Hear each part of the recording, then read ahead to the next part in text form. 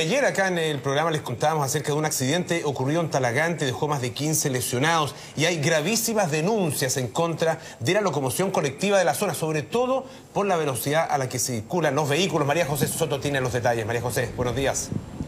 ¿Cómo están? Claro, desde el hospital de Talagante para contarles justamente de lo ocurrido ayer. A esta hora ya todos fueron afortunadamente dados de alta estos pasajeros, pero una de ellas incluso tuvo una fractura de clavícula. Milagroso por decir por lo bajo, porque uno revisa las imágenes y es realmente impresionante. Lo que pasó es que este bus eh, supuestamente a exceso de velocidad intentó esquivar otro vehículo, bueno, perdió el control en todo caso ahí el conductor, ustedes están viendo, y eh, quedó justamente chocó con un árbol primero, luego volcó y después chocó contra un poste. Entonces realmente es impresionante. Los propios pasajeros ayer no podían creer eh, que la habían sacado prácticamente muy barata. Estamos eh, con el alcalde de la comuna, Raúl Leiva, para que nos cuente efectivamente, usted hablábamos hace un poquito de rato, eh, sienten un poquito de discriminación con lo que pasa con el Transantiago. Los santiaguinos nos quejamos del Transantiago y aquí ocurre lo mismo. Aquí el transporte rural en definitiva también se ve mirado a menos. hay 10.000 personas que se transportan a diario y, y que tienen que pasar por esto todos los días.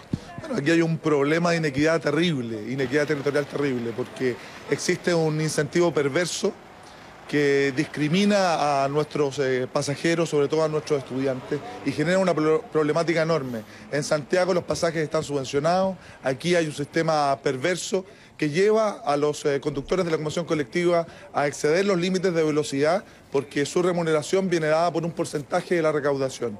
Ese incentivo perverso hace que este sistema que es muy complejo, tenga muchas problemáticas y en definitiva los que pagan los costos de un mal servicio, de una mala calidad y con inseguridad son justamente los pasajeros de nuestra zona para que entenderlo mejor, corren por eh, cortar boleto, que es lo que pasaba, por ejemplo, con las micros amarillas antiguamente, ¿no? Ese es uno de los principales, es uno de los problemas, es uno de los resabios. Y eso también nos genera una discriminación muy importante con los estudiantes, porque como el, pasaje, el conductor, su remuneración viene dada por la recaudación, y obviamente el pasaje escolar tiene un, un costo mucho menor, su recaudación es menor, su remuneración es menor, y por consiguiente se le discrimina y se corre muchísimo. Esas son problemáticas graves en nuestra comuna que venimos denunciando desde hace mucho tiempo, y que exigimos y solicitamos que también se dé una regulación más importante. Problemas como el transporte público requiere una intervención directa del Estado. Los alcaldes del sector poniente de la región metropolitana trabajamos muchísimo, más de tres años, en la concreción de un, de un proyecto que estimamos va a cambiar esta situación, que es, que es el Metrotren, que estaría operativo el año 2016. Pero en intertanto, nuestros vecinos, talagantinos y de toda nuestra zona siguen corriendo riesgos, como el de ayer, que es una prueba eh, patente de lo que puede suceder y de los riesgos asociados a este sistema de transporte. Hay fiscalización por parte del municipio. Ayer en la nota se veía, por ejemplo, que eh, corrían muchísimo, que incluso el vehículo de prensa le costaba alcanzar eh, al conductor del bus. Me imagino que corren muchísimo más también en carreteras, cuando toman la carretera después de Santiago. Bueno, se ha solicitado fiscalización mayor a carabineros. De hecho, nosotros como municipio hemos comprado equipos de radar para entregar a carabineros y que fiscalicen estas verdaderas carreras que se producen. Vuelvo a insistir en un sistema perverso en donde no hay incentivo por parte del Estado tampoco al ingreso de nuevos operadores del transporte, por eso existen tan, pocos, eh, tan pocas líneas y por consiguiente tan poca competencia. Y eso genera un problema atroz a los vecinos de nuestra comuna. ¿Cuál sería la solución que pidieron ustedes hasta eh, por lo menos el 2016 que llegue eh,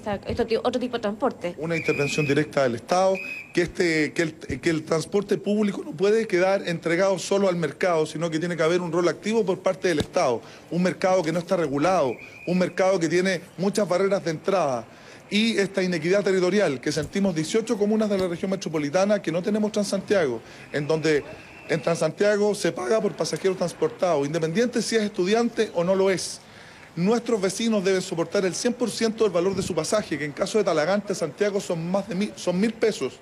Sin embargo, en la región, en el área, en el Gran Santiago, están 38 comunas, el Estado subvenciona casi en un 40% del valor de ese pasaje.